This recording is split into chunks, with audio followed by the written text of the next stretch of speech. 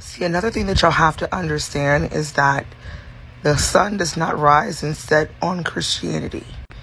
There are many non Christians that use the Bible and actually believe in it. The Protestant movement did not happen until the early 1500s, and the Bible existed far, far before that. Even when you go back to the origins of what the purpose of a pastor was, they were wizards. The church has always been an institution that was designed to maintain social order.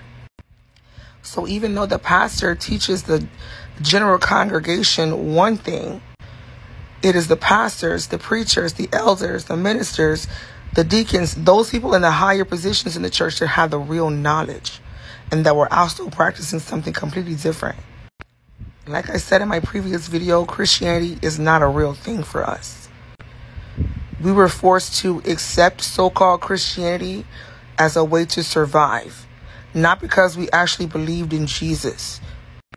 And now here it is uh, centuries and decades later, now y'all are having a very hard time distinguishing the acts of a divine power versus the acts of an oppressor.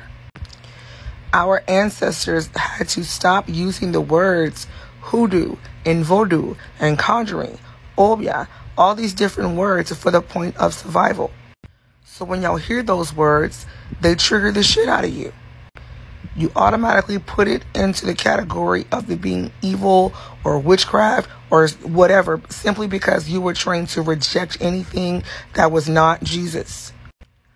At the end of the day, you have to want to know the truth. If you don't want to hear it, you're going to find a reason to reject it. If you want to learn about it, seek and you shall find.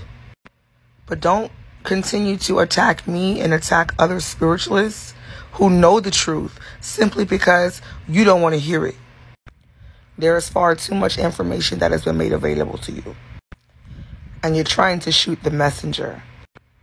When you should really be getting mad at these bishops who've been lying to y'all about the history that they already know. It is them that are getting paid to lie to you.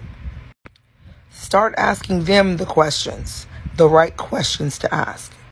Stop tolerating foolishness or vague or ambiguous answers. If you're giving them money to their church, they owe you an answer.